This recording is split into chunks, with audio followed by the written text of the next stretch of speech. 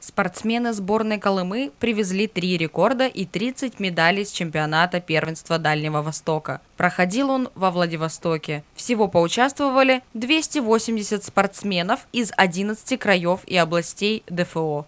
Магаданцы поднимались на высшую ступень пьедестала 11 раз – больше всего медалей в команду принес Даниил Панкеев. Из 10 завоеванных 5 высшей пробы. Пловец установил два рекорда Дальнего Востока на дистанциях 1500 метров и 800 метров вольным стилем. Пять золотых медалей завоевал Иван Кожакин. Еще одну золотую медаль в дисциплине 200 метров баттерфляем завоевала Арина Сафонова.